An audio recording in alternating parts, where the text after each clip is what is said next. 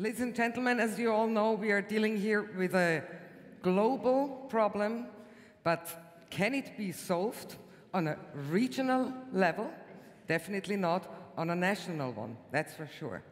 We talk internationally, we talk regionally, and therefore we are very proud to have today the President of the Euro European Commission, uh, Manuel Barroso. Welcome. Morning.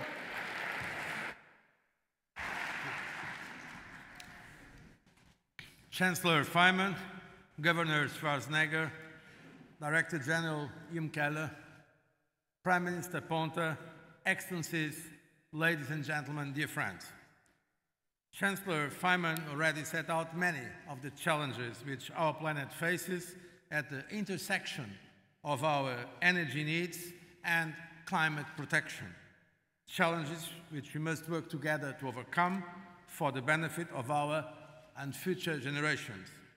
And let me, dear Werner, congratulate you, not only for your energetic speech, but also for the leadership Austria and yourself are showing in this very important priority for the European Union.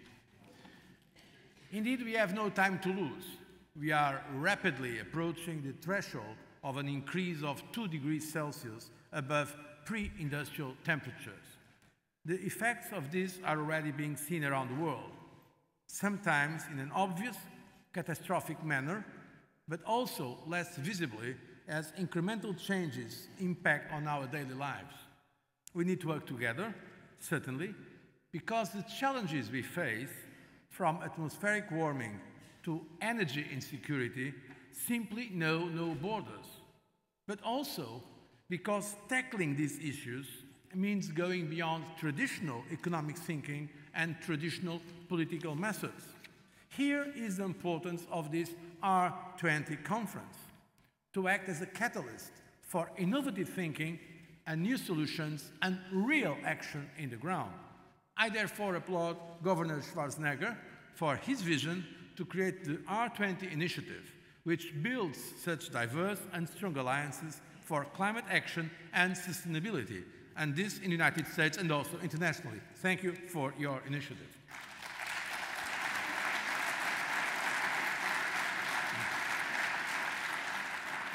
Economically, we cannot deal with the challenges of the 21st century with a growth model from the 19th and the 20th century. And also politically, it is important that new approaches are explored across the board.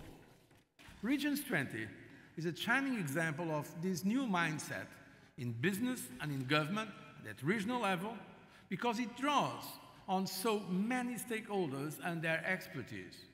In many respects, the work of R20 is similar to that of the European Union, as it connects different actors on all levels to cooperate on common challenges, to be stronger together. Within the European Union, this has been our successful working method of more than half a century, but we too have evolved.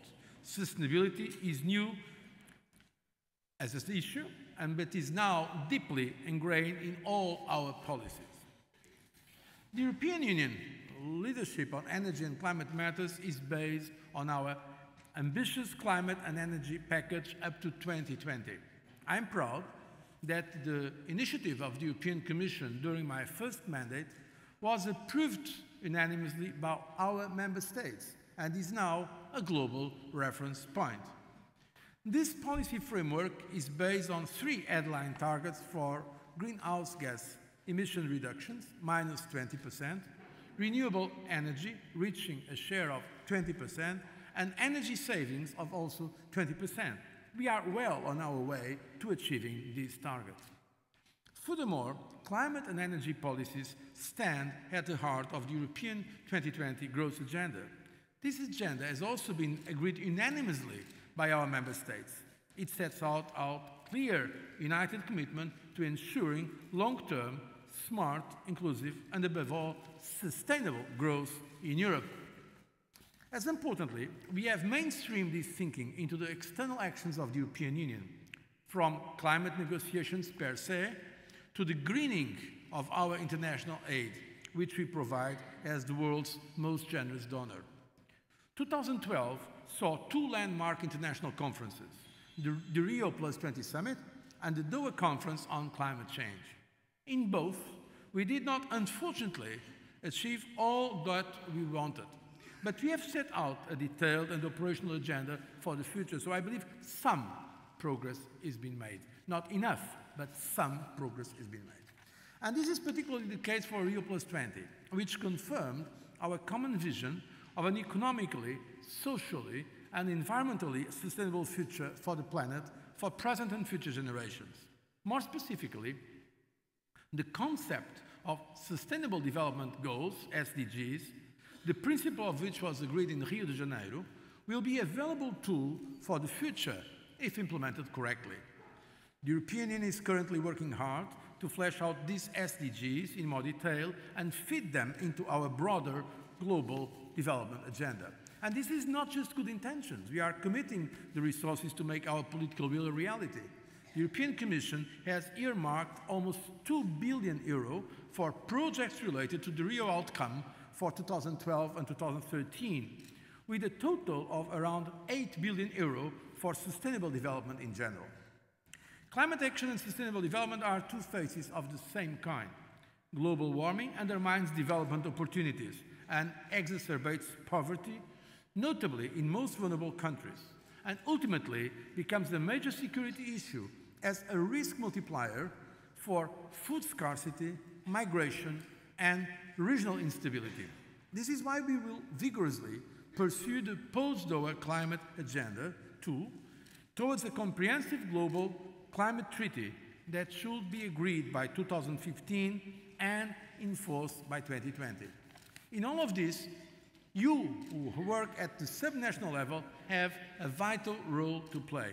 Your actions, for example, R20's low carbon projects, bring global initiatives closer to the people, to the citizens, demonstrating that sustainability is not just short term pain for long term gain, but can also bring clear benefits to people's day to day lives here and now. And this daily buy in is vital for sustainability to succeed. Of course, the current economic situation makes it difficult to find resources for some projects. The European Commission recognized this, and we are therefore reorienting our regional policy to ensure more focused support on actions which support smart, sustainable growth and jobs. And let me give one local example. The European Commission is providing 5.6 million euro to support what is known as the Green Building Cluster in Lower Austria. The regional government is working with 200 partners, not just on research and innovation, but on concrete actions such as renovating and improving the energy efficiency of old buildings, thereby creating smart, sustainable growth and real jobs. Ladies and gentlemen, this last example shows one thing in particular. The key to the future is forging deeper partnerships between all actors at every level. Global, national, regional, and local governments, certainly. But we must also work even more closely with the business sector. I have spoken about the need for a new mindset. This applies to us all, including business, and particularly to how business interacts with governments and citizens. There is a clear business case for green investing. The terms green and growth are not in contradiction. Building a low carbon economy is essential to prevent climate change from reaching dangerous levels. It is also a huge opportunity to boost prosperity and get us out of the current crisis. And let me give you briefly a few examples. The global market for green technologies is worth 1,000 billion euros per year and expected to double or even triple by 2020. In Europe alone, just over the last five years, more than 300,000 new jobs were already created in the renewable sector. And it is estimated that fully meeting the European Union's 2020 climate and energy goals, which I just sketched, would result in another 1.5 million new jobs related to such clean technologies. If we meet our Europe 2020 energy efficiency targets, we could create around 4.8 million new jobs through the direct and indirect impact of these measures. The jobs already created and the benefits ahead of us come about by seizing the opportunities which a more resource efficient economy presents. Often, these are very straightforward ideas, from detergents which work in cold water to more efficient shipping, from smarter building codes to recycling precious metals. Our EU climate and energy policies, with their clear targets, did not only provide incentives to such developments, but gave Europe and its business a first mover advantage in many fields, not just in niche markets, but across the industrial chain. The Clean Fuel Strategy, which the European Commission adopted earlier this month, is another example of how a European Union level approach adds value and unites fragmented national measures to create conditions for a new sector to flourish. The package, this package of measures will ensure the build-up of alternative fuel stations across Europe with common standards for their design and their use. By proposing a package of binding targets on member states for a minimum level of infrastructure, we hope to break the vicious circle of no demand for vehicles because there is no supply of fuel, and no supply of fuel because there is no demand for vehicles. In this way, we hope to jumpstart the sector, creating new opportunities in Europe and potentially across the world. Ladies and gentlemen, these examples all demonstrate the advantages of our current European efforts. But there is also another lesson to be learned. All these examples required significant financial investment. This was made possible by confidence in the future direction of policy. Creating this climate of confidence, in turn, required a considerable political investment to look beyond day to day issues and have the courage and vision to develop a long term strategy. The next essential challenge is clear. By 2030, global greenhouse gas emissions need to be reduced by 40% to be on the right track towards the agreed target to constrain atmospheric warming to 2 degrees Celsius. At the same time, it is also clear that we need to continue providing business with long-term regulatory predictability to boost and lock in low-carbon technologies. That is why the EU Com the Commission is already strategically reflecting on the post-2020 horizon, both domestically and internationally. What types of climate and energy targets should we envisage? What are the best instruments to pursue them? And how would those interact with other, notably national instruments, from taxes to state aids to building codes? Secondly, how can we further improve the interplay between our climate objectives and the need to foster European competitiveness? Because let's face it, what underlies the current debt crisis in several European countries is at its heart a crisis of competitiveness. That is a key question in my view, because obviously our policy does not operate in an economic or political vacuum. To be clear again, I do not see energy and climate policy as contradictory to fostering Europe-wide competitiveness, but if done smartly, as mutually reinforcing. So we'll keep an eye on this dimension of competitiveness and of energy costs too. And thirdly, how should we take account of the international situation regarding a new global climate agreement?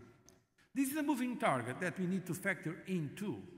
The EU will continue to lead from the front in these talks, not from behind. But we need to stay realistic too. We only account for 11% of global greenhouse gas emissions. So it would be wrong to assume that Europe alone could shoulder, shoulder all this burden. We want a new Green Deal on the global level, but one through which all emitters contribute their fair share. These are just a few of the strategic questions we are currently reflecting upon. But regardless of the concrete answers that the Commission will prepare in the course of this year, one thing is certain. We will plan and implement our response in very close consultation, not just with our uh, European member states, with the regions, cities, and communities of Europe, and of course with our global partners, but also with the business community and the civil society. Going for it together, that is the only way to deal with this challenge of a generation. And it is not enough to have good technocratic proposals. It is not enough to have good political agreements. We need the support of our uh, citizens. And to sum up, yes, the challenges we face are immense and they will possibly even become more complex in the future. A global consensus is essential among governments on all levels, but also and above all among peoples. I firmly believe that it is possible to achieve sustainability without shutting people out of development. On the contrary, this is an agenda for development and global growth. And energy plays an essential role in this and must be the heart of all our policies in the years to come. That is why we need to equip our European Union with the necessary tools. In just over a week, we expect the European Council to fix its position on the European Union's budget from 2014 to 2020. It means setting out the resources we will have available to implement our policies for the next seven years. The European Commission has proposed that at least 20% of the resources available will be targeted on sustainability across all policy areas, from agriculture via research to foreign policy. We'll continue making the case in decisive talks for such a future-oriented budget that invests in the green drivers of growth. Mr. Chairman, ladies and gentlemen, I have so far resisted making any reference to the great cinema career of one of the next distinguished speakers. But let me conclude by saying, Governor Schwarzenegger, that this is not yet our last stand. but we all need to be a little more like climate action heroes and do more individually and collectively to save our planet in peril and to boost smart and inclusive sustainability. We, the European Union, will continue to do our share, and I'm certain that everyone here in this room and the people you represent will do the same. I thank you for your attention.